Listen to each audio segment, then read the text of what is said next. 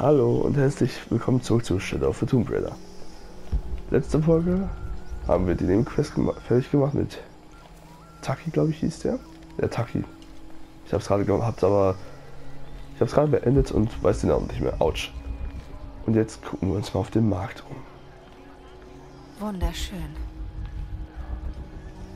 Hi. Wirst du handeln? Bitte. Ich habe kaum genug, um den Tribut zu bezahlen. Tribut an wen? Den Kult von Kukulkan. Sie verlangen die Hälfte aller am Markttag erzielten Profite, aber wenn Sie glauben, ich wollte Sie betrügen. Ich Oh verstehe. oh. Danke, Ishik. Dann handeln wir? Ja, auf alle Fälle. Schlangenholzbogen. Feuerpfeil, geräuschlose Pfeil. Jägerküche, mittelgroßer, robuster Lederküche, der Tragkapazität aller Pfeiltypen. Großer, fellgefütterter. Äh. Das ist fies. Das wird bestimmt nützlich für dich sein. Ja, okay, den holen wir später. Das ist geräuschlose Pfeil. Atlat Atlattelbogen. Ein Langbogen, dessen Konstrukt Konstruktion, Konstruktion vom alten Atl Atlatl inspiriert wurde. Das ist auf Schaden, das ist Zieltempo und Haltezeit. Ja, Mist, ich hab nicht genug Geld. Mist. Ich würde mir so gerne noch den großen Küche holen, aber geht leider. Obwohl. Die Götter sind für uns. Das war eine ausgezeichnete Wahl. Ja, jetzt kann ich holen. Schön. Das wird bestimmt nützlich für dich sein. Ich bin immer bereit zum Handeln. Das freut mich. Ich bräuchte aber jemanden, der mir ein besseres Messer verkauft. Das wollte ich nicht. Hallo. Ich kenne dich nicht. Was machst du hier? Wo hast du diesen Umhang her? Es wurde mir gegeben, von Unuratu. Oh, du bist ein Gast der Königin? Nichts für ungut. Bitte, du musst mir verzeihen. Schon gut, keine Sorge. Wie kann ich dir helfen? Zeig mal deine Waren. Tasche, kompakter Fellbeutel. Kompakter Fellbeutel, der die Tragekapazität für natürliche und menschengemachte, okay. Ja, ist wahrscheinlich wieder das gleiche. Ja. Messer-Upgrade. Ah, ist, ist, ist, ist zu teuer. Äh, schade. Ich hätte mir besser, ich hätte mir den Ich warte Köche, auf deine Rückkehr. ich hätte mir nicht sofort die Küche holen sollen. Mist. Egal, Alles zu voll. spät. Ich kann nicht mehr tragen.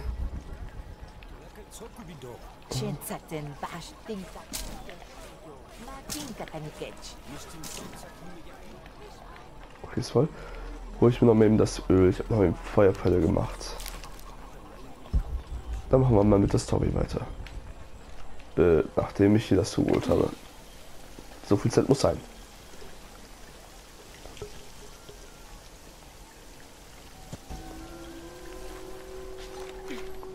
Schutz für die Schlange. Eine Darstellung fremder Einflüsse. Das hier ist schwer zu verstehen.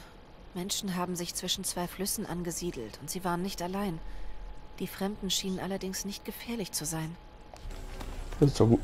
Gut. Äh, was wollte ich noch nicht was das was machen? Ne, egal. Gehen wir mal weiter auf die Story zu. Paititi Marktplatz. Ah, okay. Wo gibt's denn was Neues? Hier? Ja, hier. Was ist das? Größeres Magazin. Oh ja. Das ist Nachle Tempo, ist glaube ich nicht so wichtig. Der bin ich voll. Der ist noch nicht voll, brauche ich aber das bessere Upgrade. B -b -b ist das A, die Ausrüstung ist an Göcher, Pistolen, Munitionsbeutel, Sache. Drei, okay. Äh, erhöht Effektivität von Wahrnehmungsverlusten ermöglicht. Okay, ah. äh.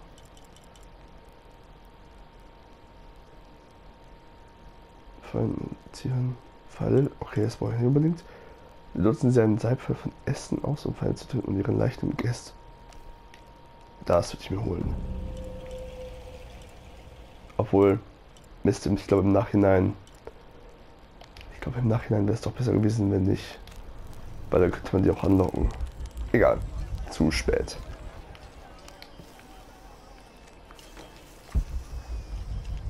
Was ist denn hier los?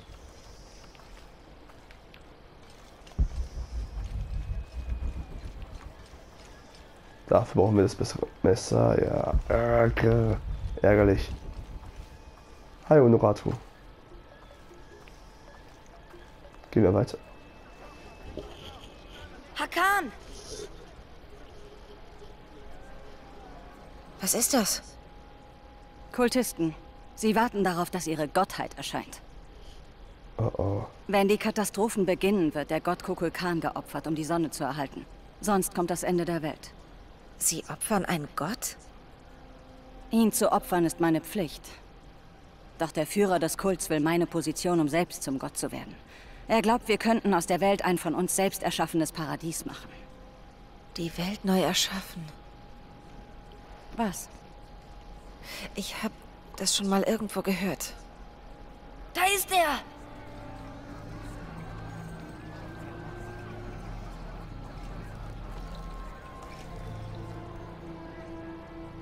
Ich weiß, wer das ist. Das ist Dr. Dominguez. Oh oh. Seht her! Endlich besitzen wir das Werkzeug zur Einheit und der Lösung. In Kürze werden unsere Träume von Frieden und Geborgenheit zur Realität werden. Sie nennen ihn schon jetzt Kukulkan.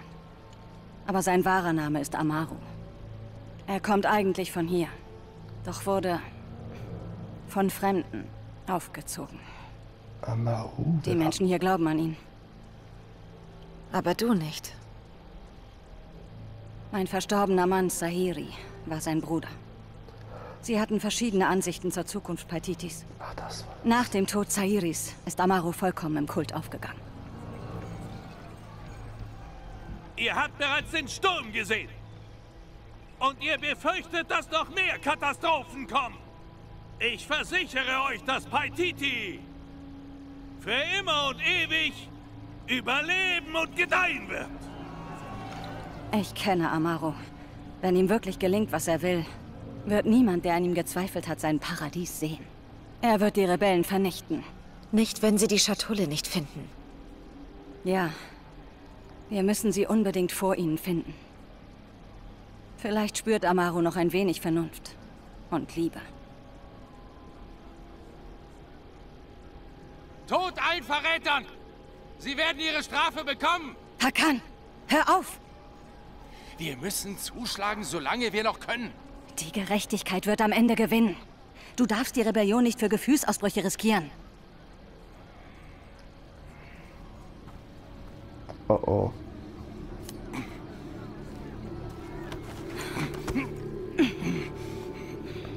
Das ist lieb. Oh oh. Etzli, erkunde die Gegend. Wir treffen uns an der Bergkante. Letzte Warnung. Verschwinde.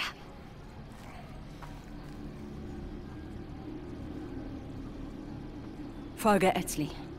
Deine Kleidung wird dich nicht lange verstecken. Ich kümmere mich um die Schatulle. Versprochen.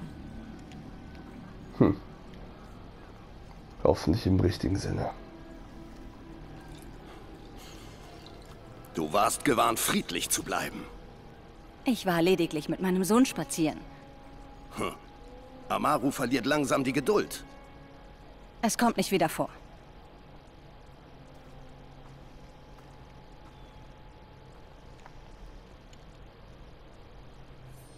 Weiter geht's. Jonah, kannst du reden? Ja, ich bin mit Ucho im Lager. Alles bestens. Dominguez ist hier. Er ist der Anführer des Kultes von Kukulkan. Dagegen kämpfen Unuratus Rebellen. Was? Er ist seit Jahren hier. Trinity kontrolliert Paititi. Wow. Ich gehe zum Auge der Schlange. Wir brauchen die Schatulle vor der nächsten Katastrophe.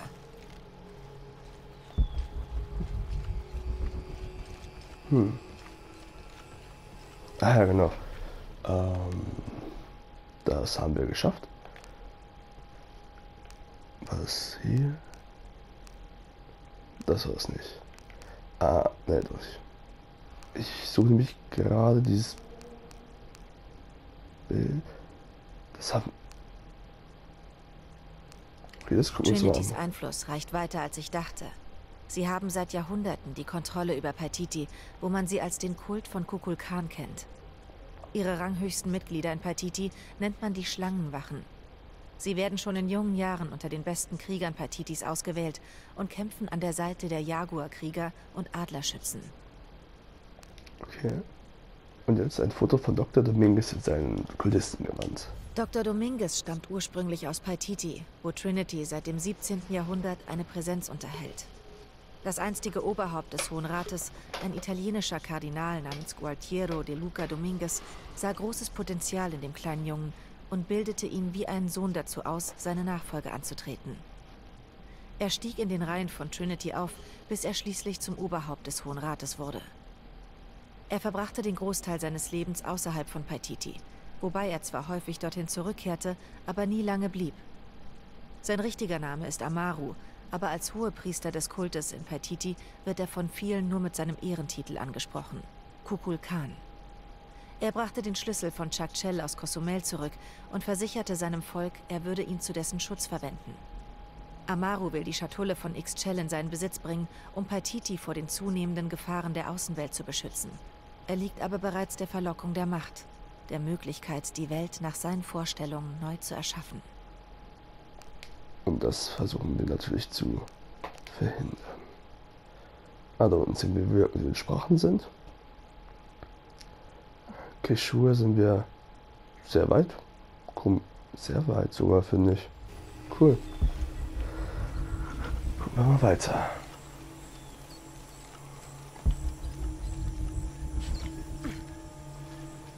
Hallo. Ich und Etzli haben oft zusammen gespielt.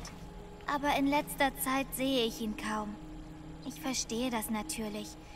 Er hat wichtige Dinge zu tun. Wichtig für uns alle hier. Aber er fehlt mir. Niemand konnte einen Stein weiter über den Fluss werfen. Hm. Was haben wir hier Schönes? Ah, okay. Mhm. Ah, gut. Tödliche Erdenmutter. Die Darstellung der aztekischen Göttin Quatlicu.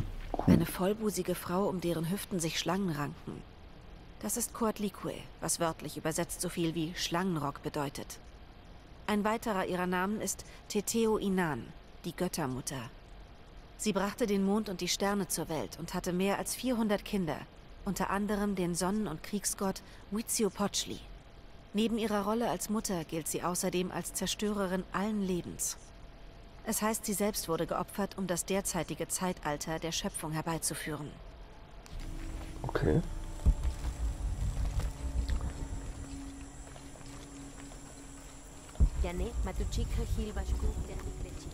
Hier ist so eine Art Werft. Oh, und da sehe ich gerade eine Gold- oder eine Jadeader.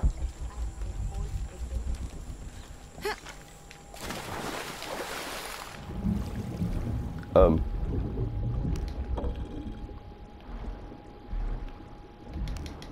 Ah, Gold.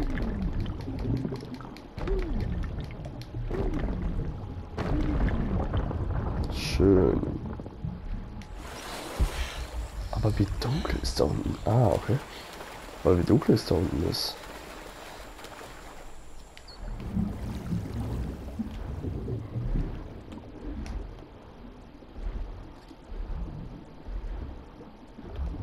Okay, da komme ich nicht ran. Also so zumindest noch nicht.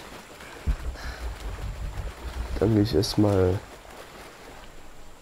nach hier unten und sehen wir den Schrein an.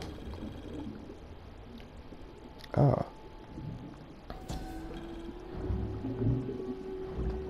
Virakosha. Eine Darstellung von Virakosha. Hier wird die Geschichte von Viracocha erzählt, des Vaters aller Schöpfung. Er erschuf den Himmel, die Erde, die Sonne und Sterne, den Mond, die Zeit selbst sowie sämtliche Lebewesen, einschließlich der anderen Götter. Viracocha galt zu Anfang als oberster Gott der Inka. Doch im Laufe der Zeit ging diese Ehre auf seinen Sohn Inti über, den Gott der Sonne. Seine Verbindung zum Meer behielt Viracocha jedoch bei. Wörtlich übersetzt bedeutet sein Name so viel wie Fett oder Schaum des Meeres. Okay. Cool. Ah. Ey, geh da rein. Achso, ich dachte, komme ich auch da hinten rein. Schade. Leider nicht.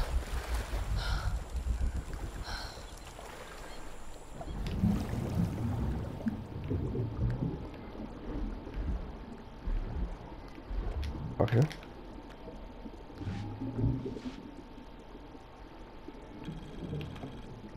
Ich tauche nochmal auf. Versuche jetzt mal nach da hinten durchzukommen.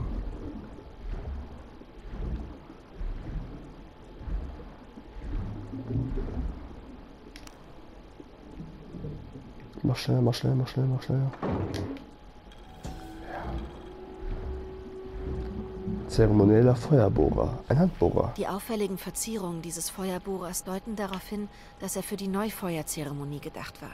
Ein aztekisches Neujahrsfest, an dem fünf Tage lang gefastet, Aderlässe durchgeführt und Opfer dargebracht wurden. Der Feuerbohrer wurde auf der Brust der frisch Geopferten platziert und entzündete mit seinen Funken ein großes Freudenfeuer, das wiederum die Flammen jedes nahen Tempels nährte. Okay.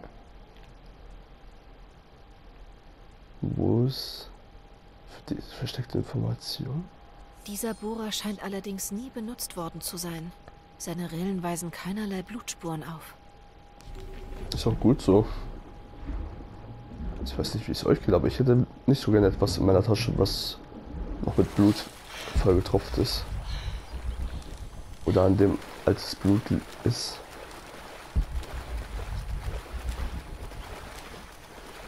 Mich würde mal interessieren, ob da was am Wasserfall ist.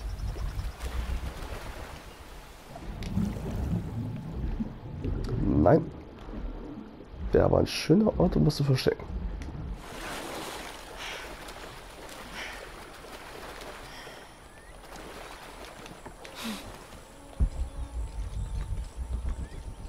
Ist es ein voll? Ne, ist Holz.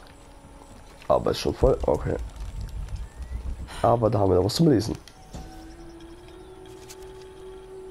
Seuche. Eine Darstellung hunderter Menschen, die einer Krankheit erliegen. Als nach der langen Dürreperiode endlich Regen fiel, verließen die Ratten ihre Baue, um nach weiterer Nahrung zu suchen. Und mit den Ratten kamen die Plagen. Jene, die von ihnen befallen wurden, bluteten aus Nase und Ohren, bevor sie einen qualvollen Tod fanden. Sie starben in so großer Zahl, dass einst belebte Städte verlassen zurückblieben. Ja. Wenn Regen kommt, nach einer Dürreperiode werden alle Ratten ausgeschwemmt. Und naja, Ratten sind halt die Tiere, die die meines Wissens zumindest die meisten Bakterien übertragen. Ah, die sind auch verdammt gerissen, muss man schon sagen. Ist ja was passiert? Sieht mir so trostlos aus. Ach, ich bin hier. Ich weiß jetzt, wo ich bin. Wie bin ich denn hier hingekommen?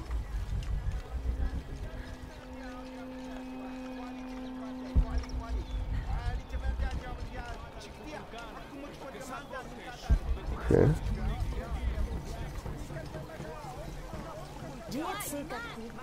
Ich bin auch nicht so weit gelaufen, also bitte.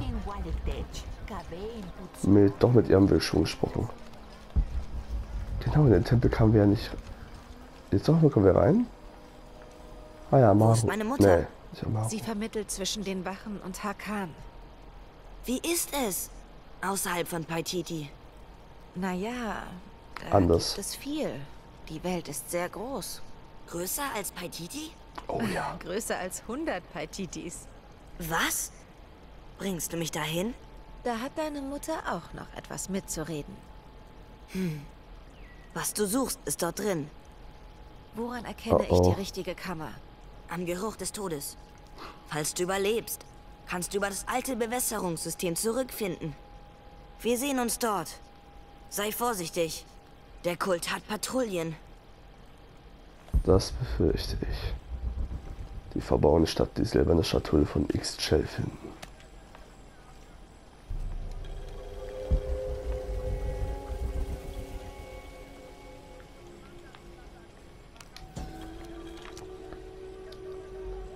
Geplagtes Land. Darstellung der Umsiedlung Patitis. Die zunehmende Bevölkerungszahl und kurzsichtigen Planungen bescherten der Ansiedlung etliche Probleme.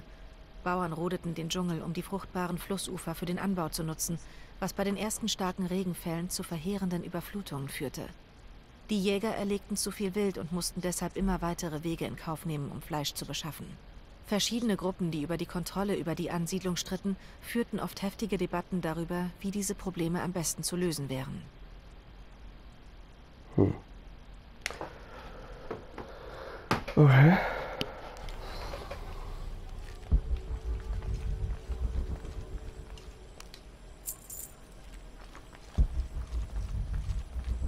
Ich bin mal gespannt, wie schnell wir hier auf Trinity stoßen.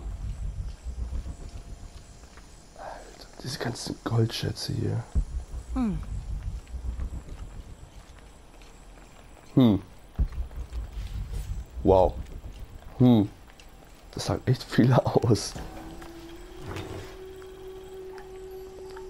Makuahuitl. Äh, Makahuitl. Das stimmt mal eine beeindruckende Waffe. Sie muss unglaublich oft benutzt worden sein, um sich in einem solchen Zustand zu befinden. Oh ja, die sieht arg benutzt aus. Vor allem oben. Wo ist die versteckte Information? Am Griff? Nein. Da. Und wenn die Blutflecken Rückschlüsse zulassen, war es auch so. Ja. Das sieht stark danach aus. Dann schauen wir mal weiter. Da haben wir wieder was zum Ausplündern. Ausplündern. Ausplündern, ist es richtig? Ist Ausplündern richtig? Ich weiß jetzt, ich bin mir gerade wirklich unsicher, ob Ausbildung richtig ist. Ich glaube ja. Oh, ich höre da jemanden. Alles klar. Ähm. Was war das denn gerade? Hä? Ich bin gesprungen, auf einmal dreht sich Alles die Karte. Klar. Was? Das war eine Dummheit. Entschuldigung. Was war denn das gerade auf einmal? Ich spring dran, auf einmal dreht sich die Kamera vollkommen. Alles klar. Das ist schon besser. Zeigen wir uns mal wieder ab. Eins und zwei und drei. Dafür habe ich nicht genug Brauchen Platz. wir nicht mehr.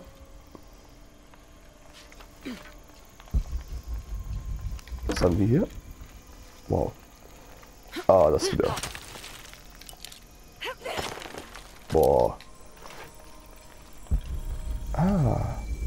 Neues Basislager entdeckt. Ich glaube, nichts hätte mich auf Paititi vorbereiten können. Die Menschen, ihre Geschichte, was sie erlebt haben und wo sie heute stehen. Wenn man ihn so hört, Amaru, Dominguez, Kukul Khan will nur Paititis Sicherheit.